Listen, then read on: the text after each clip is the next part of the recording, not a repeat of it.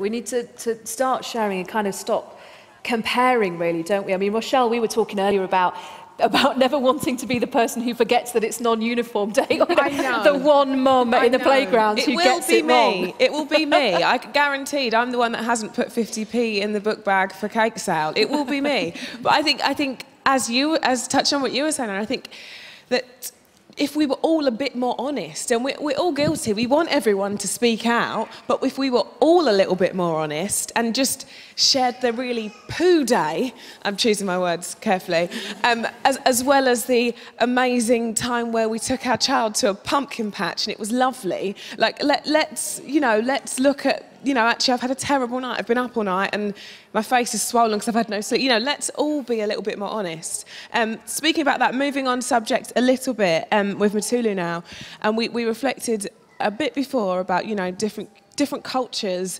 maybe not being as accepting, you know, it's hard enough as it is, but being as accepting with mental illness. And I know that you struggled with that quite a bit, didn't you? I did. Um, I have two children. My first son is 13 and my last born is two. And when I had my son, I was 16 years old. And um, in my culture, I'm Ghanaian, British-born Ghanaian.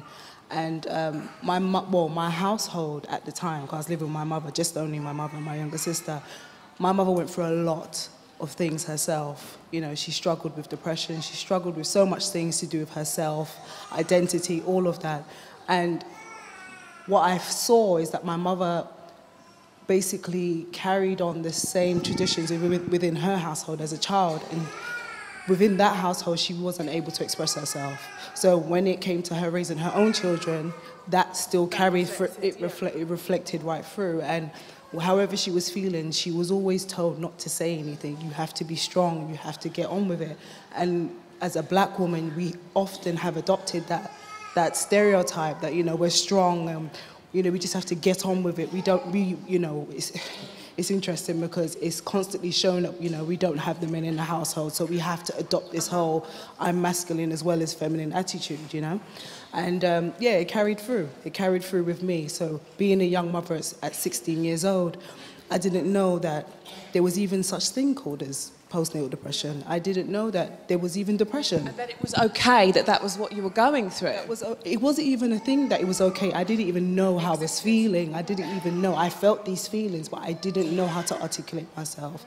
And I didn't know who to talk to. And if I did say to my mother, oh, mum, you know, or not even a thing of saying anything, but if I was reacting a certain way, she, wouldn't, she wouldn't identify it. She wouldn't discuss it. It would just be a thing of you're behaving like this we're going to ostracize you, you know? So it's been a very difficult thing for me. And now coming into this, coming into womanhood, I'm nearly 30 now, so I have a lot of sisters around me that are very open about their experiences. And, you know, we share, we share a lot. And I feel that it's very important as a mother that you have a sisterhood with you.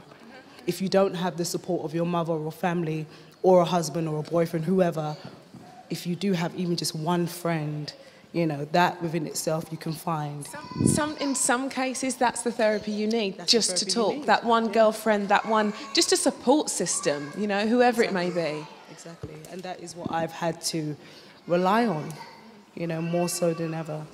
And I'm grateful for that. Regardless, I'm grateful for that. Thank you very much, Mthulu. Anna. Uh, keep the thoughts coming uh, using the hashtag MumTakeover. Uh, thank you to all of you who've got in touch so far.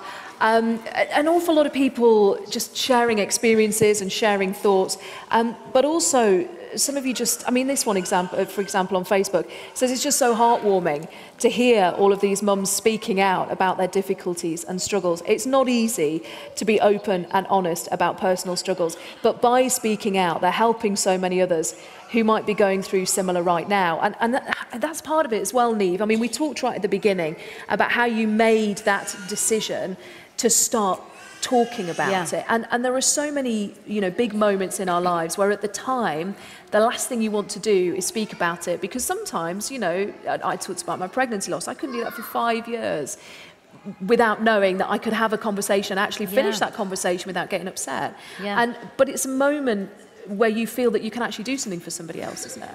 Absolutely. I mean, in my case, I um, just, just very briefly to tell you what, what went on with me. My husband and I wanted to have children for years, and we just, we just couldn't get pregnant. There was nothing wrong with us, but we just couldn't get pregnant. And in that time, I definitely think I went into a depression. Uh, before I even got pregnant, I was depressed. Um, when I was pregnant, I had a great pregnancy. I was so happy that I had got pregnant, you know, holistically with acupuncture and Chinese herbs, and I was just so happy. Um, and then when Genevieve was born, I, I had a planned C-section, as I mentioned. It's always tough to recover from any birth, but C-sections are really tough. You can't just get out of bed and go for a walk and do the things that would normally help clear your mind. Um, you can also not prepare yourself sometimes for circumstances after birth. I found out when my daughter was three months old, I had a slit disc in my back and I needed back surgery, which meant a lot of separation from Genevieve, which had a huge impact on breastfeeding, and I had to give up breastfeeding. And that's when it really hit me hard. That's when my mental, you know, stability just went under. I don't know if anyone here struggled with breastfeeding, but once we, we couldn't really get the hang of it and I had to stop, I just didn't feel like a proper mum. Yeah. I felt like a complete failure and it just opened this portal of negativity and that just spiraled out of control for me. Um, you know, I can tell you all that I, I felt suicidal. I, I was in hospital waiting to have an MRI on my back with my baby away from me. It was Diwali, which is the Festival of Lights. My whole family were together. And I thought, you know what? I, I shouldn't be here anymore. I'm not a good enough mum. I'll never be the kind of mum that Genevieve needs and wants and deserves. I should just end it all. And it was in that instant that I went to my lowest possible point in my mind that I snapped myself out of it. And my will, something happened. And I knew from that moment on that I would never look back. I, I had been given all these fantastic gifts in life and blessed with all this happiness. what was I doing? And someone mentioned it earlier, you just sometimes have to shake yourself out of it if yeah. you're lucky enough to have that internal strength. And from that moment onwards, I honestly just felt better day by day. And yeah, I knew, and you could feel it. I yeah. knew that I needed to help people yeah. because I thought if I'm somebody who says that I'm strong and I do motivational speaking and I do stand up comedy and I do all this, if people yeah. can know that I went that low and I managed to get myself out of it, um, you know, with some support, talking to people, yeah. acupuncture, I didn't, I wasn't medicated, I managed to get out of it on my yeah. own. Then and if anyone can, can, do it. Catch someone at that moment as yes. well and, and, do the same thing Absolutely. for them. Uh, Rochelle. So I'm joined with Juvin, and obviously we're speaking about a lot of a lot of our guests today have found it helpful to channel to channel something, whether it's talking about it, whether it's helping other people, uh, like you were just saying. Um, education has been that channel for you, hasn't it? Yeah, yeah, definitely. I mean, at at 18 years old, um, when I had my baby, it was about you know it was really difficult. I'd lost all my friends. Um, I'd lost, you know, all of that sense of you know, well, your life is very different. You're, you're instantly sort of separated, aren't you? I guess if your friends aren't going through that at the same time as you. Exactly. So it was very different. I think I think what really did help me was going back to, to school. I remember I was in year 12 at the time, and then I took a gap year and went back into year 13. And um, from there, I just went straight to university. And I think, you know, being, I used to call myself a part-time mom, um, you know, part-time mom, part-time student um, you know, being around people my age, doing things that mattered to me, and, and feeling like I had, I was working on my own future. Um, that was really helpful because, yes, I mean, you know, hearing someone actually speaking, you know, openly about feeling suicidal, it happens to a lot of moms, and you feel guilty for even feeling that way. You feel, you feel selfish. You feel, you know, you feel angry with yourself. And I think actually getting out there and doing things for you you know. Um, Taking care of yourself. I think as a mum, obviously you know that you're that's what you're supposed to you're supposed to take care of this child and I think it's a shock isn't it you have this baby and you're like right this is this is my life now yeah.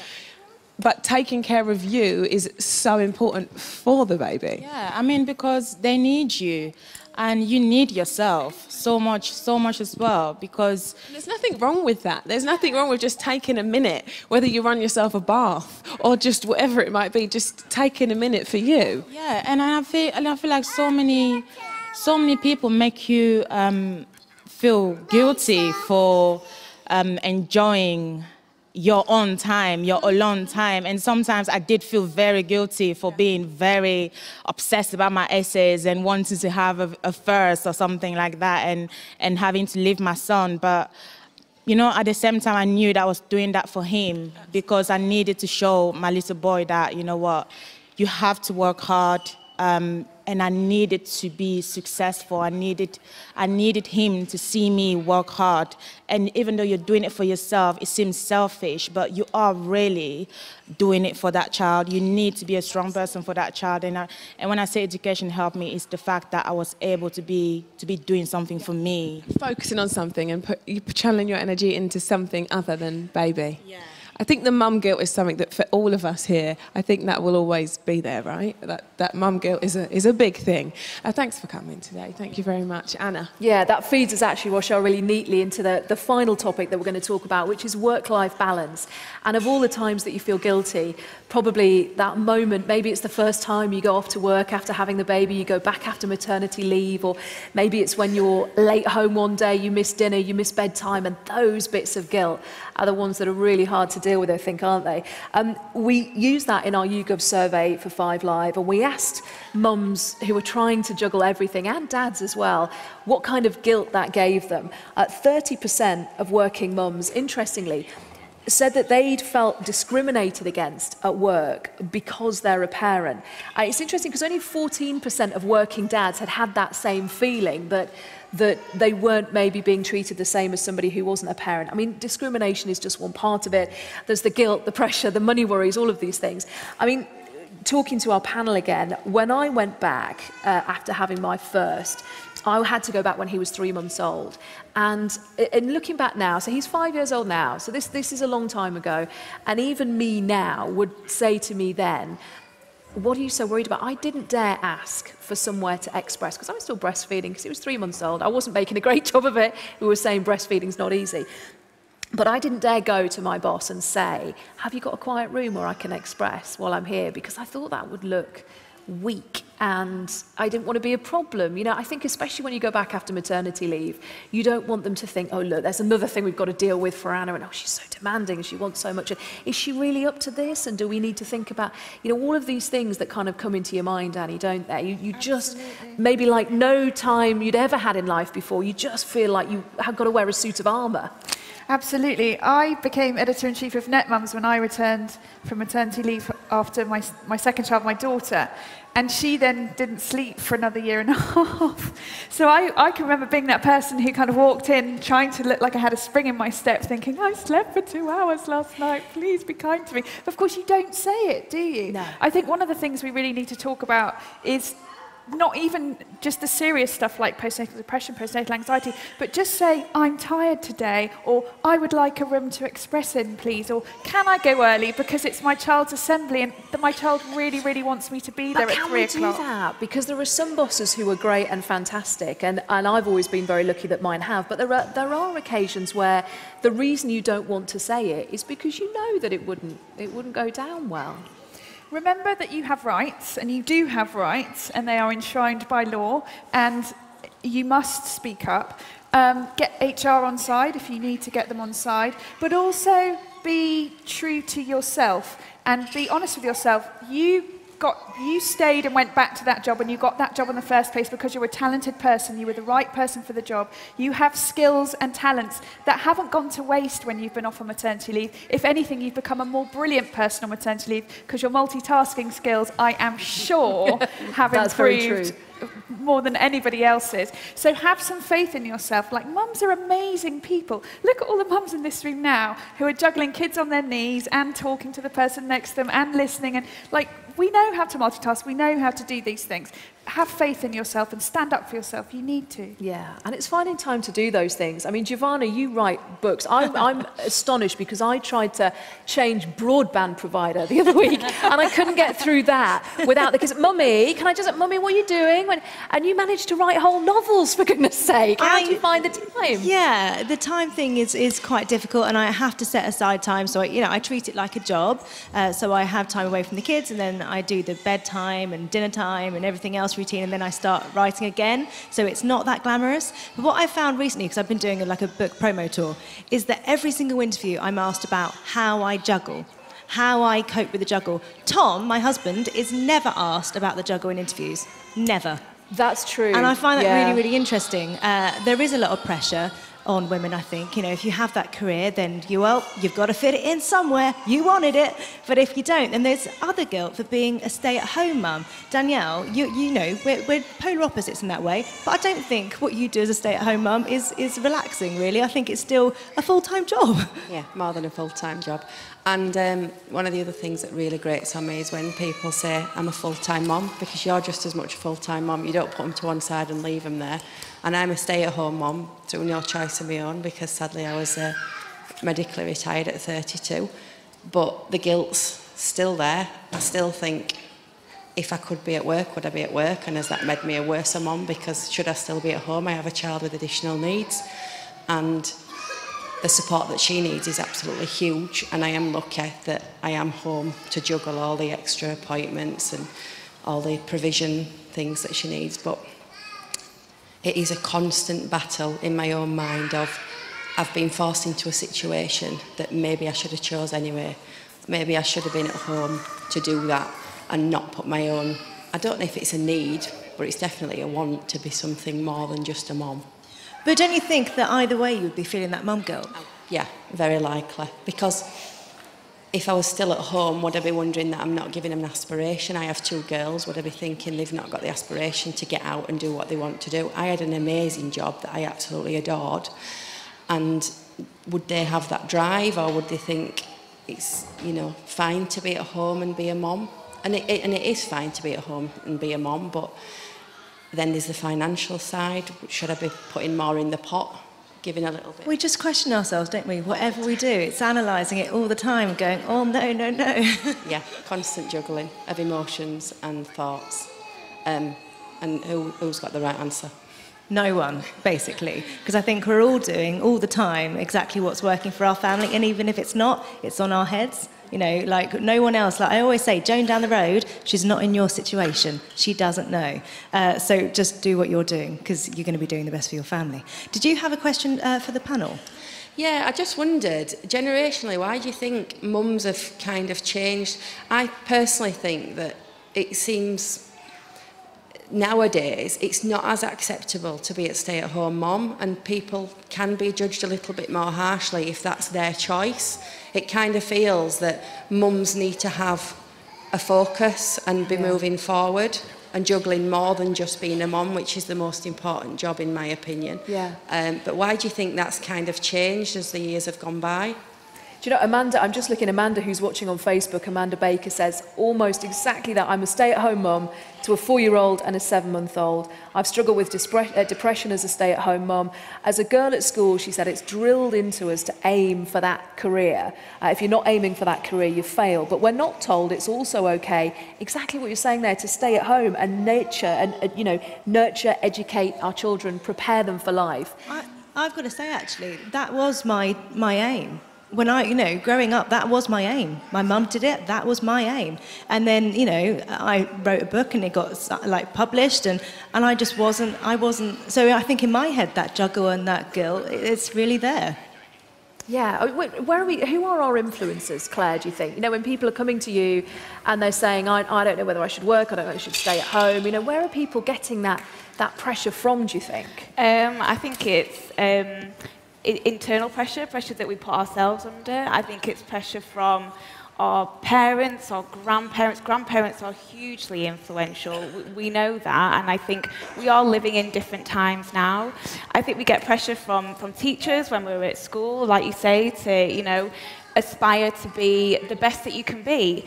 But actually, if the best that you can be and the best that you want to be is to be a stay-at-home mom, then we should really be, you know, encouraging people to feel confident in, in that decision-making. I think that it's a really important part of, you know, a lot of what I've heard about mum guilt, about all of those different things. There's a real role here for antenatal education. So when we're preparing for birth, that we don't focus so much on the mechanics of birth and what that means, because I think traditionally antenatal education focuses on that. Yeah. And actually, what we should be doing is we should have whole sessions on mum guilt. We should have whole sessions, you know, things like that, that actually the real issues that people need to be talking about and need to be preparing for. Yeah. I just think that uh, that's, that's skewed a little bit really for me. And I Yeah. think it's really important that we prepare people better for all of these issues that we're talking about.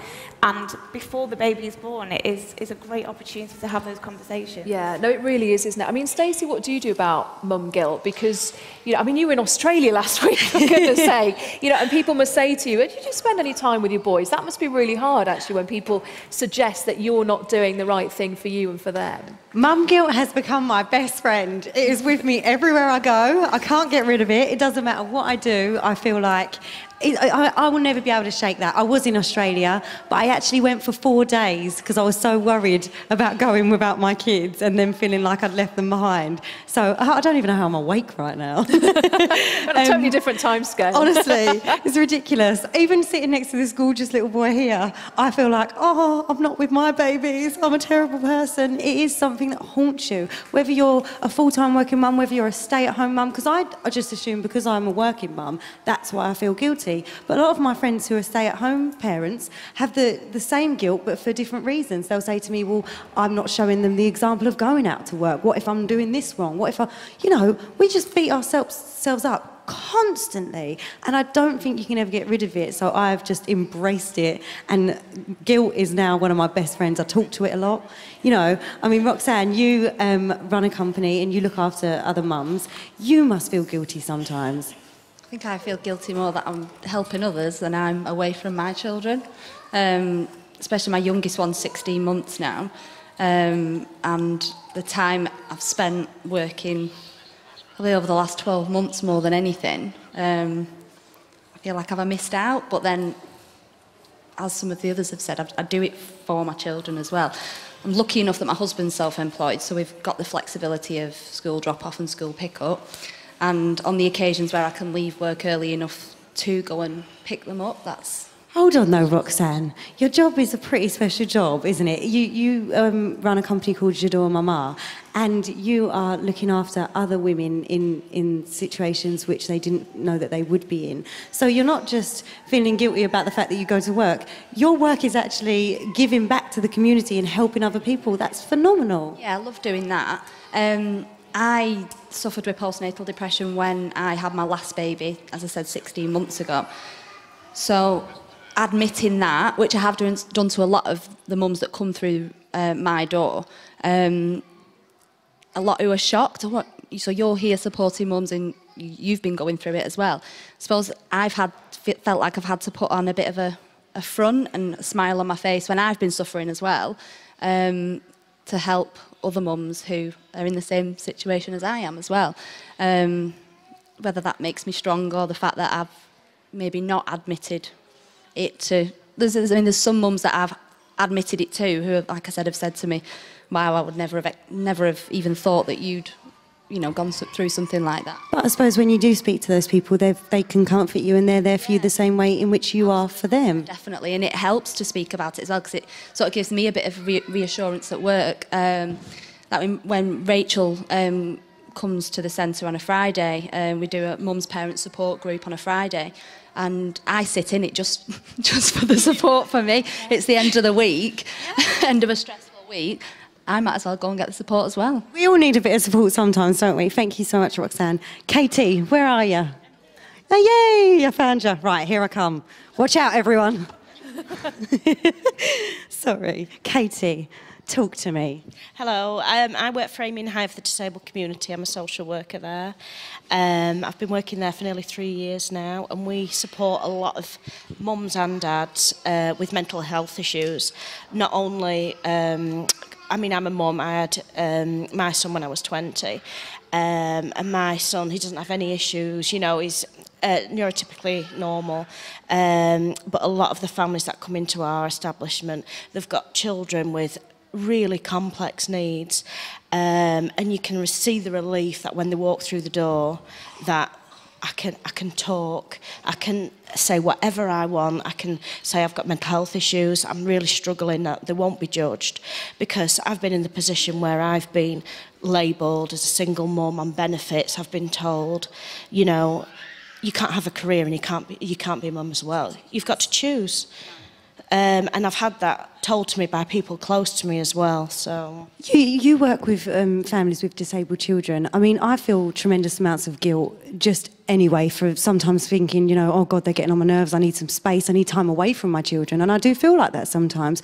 As somebody who works with, with um, parents of disabled children, they must feel that guilt even more heavily because maybe they don't. A, a couple of my friends who are in that situation feel that you know they don't want to ever say that they need to get away from their child, but actually their their children can be very demanding and a real, real difficult thing to deal with. Uh, do you experience that a lot? Yes, without a doubt, more often than not. Um, and the parents come to us and they say, you know, I, and a lot of the time, the mums don't realise the child has a disability until she's actually given birth. So they've planned for this child, and then they've got, it's hard enough having a newborn as it is, but to find out that child's got complex needs. And families come to us and they say, we need respite, it's so hard. And we help them, but it's service they're limited by services they're limited by funding threshold criteria it's so high that these families are not getting the respite that they need um and we're there to try and help them do that Well, thank goodness for you, Katie. Thank you so much. Anna, back to you. I'm inspired by your athletic. We are in the circus, by the way, here, we should say, up above us. I don't know if any of you have noticed, mums, we've got a, a bike on a high wire up here that I'm not going to try and go anywhere near. But I know. But I am going to leap over the circus ring here because there's some advice that I need. I'm watching this lovely group of mums here because you've all got such beautifully behaved tiny babies. Why did mine never behave like this? Please, tell me the secret. It's a fluke. it's not a fluke. Hello, sweetheart. He's saying, What are you talking about?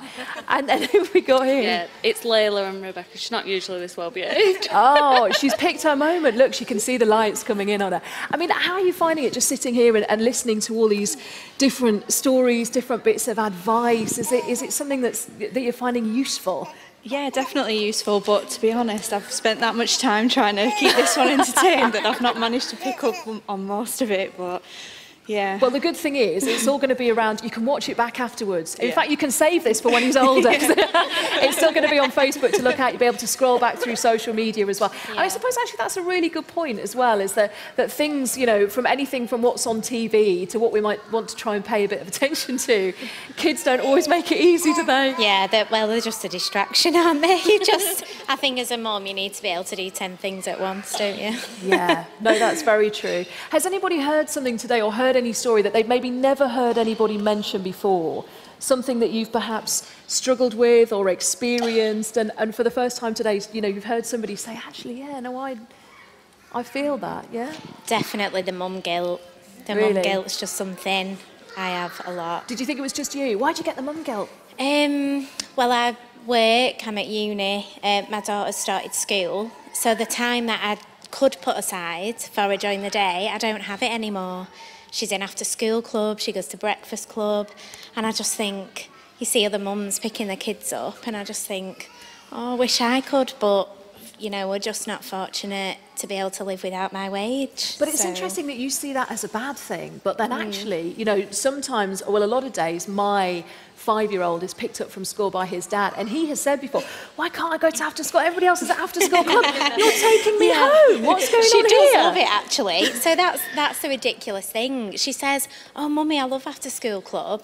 So she's happy. It's me. It's me with the problem. Yeah, she loves it. Yeah, it But is, yeah. it's all about perception, isn't it? Who else has, has had that moment? Let's talk about the mum guilt for a few minutes. Who has really felt mum guilt? Tell me, tell me as, a, as a light shines on you, tell me about your mum guilt. Um, three years ago, um, my son was would have been four then, and I had a stroke. Um, and then I had a, a series of small strokes, and I was left um, for a time I couldn't walk and I couldn't do anything for him. And I'm really lucky that I've got a very supportive mum um, throughout my whole life. And um, she was there to do things with him, but it wasn't the same because I knew that if she took him to the Lego Discovery Centre, it wouldn't be the same as me taking him. And so I had all that guilt. I'm a single mum as well, and I've carried the guilt from him being born. That am I enough for him? Um, and throughout the last couple of years, and I'm not going to say I suffer with anxiety and depression. I'm going to say I live with it because I've accepted that it's part of my life. Um, but every day I do still get that pang of guilt that he's seen things in the last three years where it's me collapsing on the floor or uh, me unwell or crying or whatever. And I think, how is that going to impact on him as he yeah. grows up? But I think that today um, and the way everybody's talking, I think that maybe the next generation is going to grow up more understanding and so hopefully there won't be as much guilt around and people yeah. will be able to talk out freely about their experiences. But it's our own perceptions as well, because yeah. you talk about that, about not being with him at those moments. But yeah. I see you as a mum who made all of those things happen at such yeah. a difficult time for you. He was still at front of your thoughts. You were making sure he was yeah. doing these things, making sure he was going to these places. Yeah. And actually, what will happen is that he'll look at this in years to come and he'll go, God, look at my incredible mum. She was out there telling people about her story. And he's. Um, I always get told he's incredibly kind and caring and thoughtful, and his teacher's always telling me that. And I always think mm, probably what he's been through has added more to his character. So I'm quite, I do feel proud of myself that I've still been able to, to do things and help him along the way. Because I kind of think everything happens for a reason, and our lives would be so different if I hadn't been ill and stuff. So it's just one of those things, isn't it? But you'll always feel guilty about Yeah. stuff. So But you know what you said there? Mum, mum pride. We need to forget Yeah. mum guilt, don't we? And think of the things that we do. And, and Rochelle, turn it into mum pride instead. Well, well, well, I'm trying, but you know, as much we're encouraging everyone to talk, mum guilt seems to be a running theme, doesn't it, Emma? Yeah, definitely. I've got a really um, poorly husband, um, and I beat myself up every day thinking that maybe, you know, I could be a better mum, but I don't think I can be a better mum. So it's quite emotional. Sorry. okay, let's, listen, if it's, you're in the right place. It's totally fine. You, you, you beat yourself up for, for what, re- what reason? um, just basically being mum and dad. so. You've, you've got a lot to on, and you can you can only you have to take that minute for you, and it's okay to get down about it, and it's okay to feel that, and you're. If I, I think generally, if if we didn't feel mum guilt, we essentially wouldn't be being a mum, right? Your gut, that that's your job. That's your job to look at, and you want the best for them. 24 7. So if you feel like you're not giving everything, you're going to feel mum guilt. But that's because you're spreading yourself thin, maybe, and you've, you've, you've got a lot on. Yeah, I mean, everybody says to me, "Oh, you're doing an amazing job. I don't know how you do very sure it." you. And it's like I stand back and I think, "How am I doing this?" I it, it's kind of like autopilot. I think you just you just do it. You just literally you focus on your work, what you've got to do after work, how many hospital appointments you've got to go to, the tests, the tests that are coming up, the results to wait for, and it's just like every day's a battle. But um, Well, it, it, it's, it's going to be tough if you, you're the backbone, right? You're, you're the one making it happen. You're a strong mum. Don't Yeah. be down. You're a real strong mum. You should feel the mum pride. Yeah. Absolutely. Well done. Anna. Yeah, I mean, it, it's stories like that. Thank you so much for sharing that, because there, well, there are people here and people at home who will, who will probably, to be honest, be as upset as you were just there, hearing that and letting it out. And you know, it's like you said, if one person somewhere, anywhere, has heard that and felt it and shared it, then that's such a brilliant thing. So thank you. And thank you to, I mean, all of our mums here, to everybody who's been involved as well on the hashtag mum takeover. Um, it's important to say as well, you know, we're sharing experiences, we're sharing our thoughts, we're sharing advice. And if you want some links to some really good help, you should have a look at the website. We made it specially for this. There's all kinds of brilliant videos on there. You can upload your own, but also bbc.co.uk slash mum takeover is a link to all kinds of support networks and advice that you might need. So have a look on there. Um, I can see out of the corner of my eye that Stacey, who was complaining that she didn't have a baby to cuddle, has appropriated somebody's baby. I stole a baby. I definitely stole a baby. I'm so broody. this is terrible for me. I'm literally walking around stealing people's babies. Help. Um, no, she's beautiful and happy. She's gorgeous. Say hi. Hi, Mum oh, Takeover. Babies love microphones. That's worth knowing. these big, these big fuzzy things. They're the best toy they've ever seen. I am thoroughly enjoying myself anyway. this is what I came for. Thanks, Anna. Uh, let's talk to our panel again, just briefly for a moment. I mean, we've, we've had a really emotional few minutes, you know, talking about the pride and the guilt and how you deal with everything really. And, and it's so individual. I think listening to all of these stories it's so individual for everybody isn't it Neev? You know every person's story we can draw something from but then you just realize that there's that's why there's no one size fits all answer to it i guess is there? Absolutely. I mean, the thing as well is, is what I was saying earlier about small daily achievements and, and setting realistic goals makes such a huge difference because it really is about being able to give yourself a pat on the back when you do something, even anything small, you know, just allow yourself to feel proud of yourself. And before you know it, you can shift that balance. But guilt is so tough to deal with. For me, it was breastfeeding not happening. That was a huge thing that made me feel so guilty, especially somebody who's so into kind of natural foods and a holistic way of life. I just couldn't get my head around it. And I thought to myself, you know what? My baby's really healthy. There is incredible formula made these days. Science has made some amazing formulas. She's healthy. She's happy. If she's beaming up at me, why am I allowing myself to focus on these silly things that really don't mean that much in the grand scheme of things? I think you have to be able to shift the focus um, and, and, and, and really feel more proud of yourself. In terms of going back to work, just briefly, um, for me, I, you, you know, you can make all these plans before you have a child. You never know what will happen. I thought I'll, I'll just take a few months off work. I was a complete workaholic. I thought I can't imagine my life without work. I ended up taking a whole year off. I just loved being with my daughter so much. And I, I didn't know I'd have physical challenges like the problems I had with my back. But in that time, I really truly got to know, you know, what kind of mother I wanted to be. And taking that pause in my life had a hugely positive impact. It made me realize that I want to make a difference within mental health, which is what I spend a lot of my time doing these days. But I actually put Genevieve in nursery for two days a week, which was a decision that I always wanted to do. But made me feel quite guilty. None of my friends had put their children, um, you know, into nursery or daycare. And, and it wasn't because I was going back to work. It was actually just because I thought my daughter would benefit from it. And she loved it. And she kind of progressed so much more just from being around other babies and having these incredibly talented people taking care of her and giving her, you know, painting one minute yeah. and making bread yeah. another minute. I came to collect her, she was covered in flour. They'd been making bread. It was brilliant. But I think you shouldn't feel guilty about these decisions you make. Just yeah. be true to yourself as a mum. You're doing well. You're doing the right thing for your child and yourself.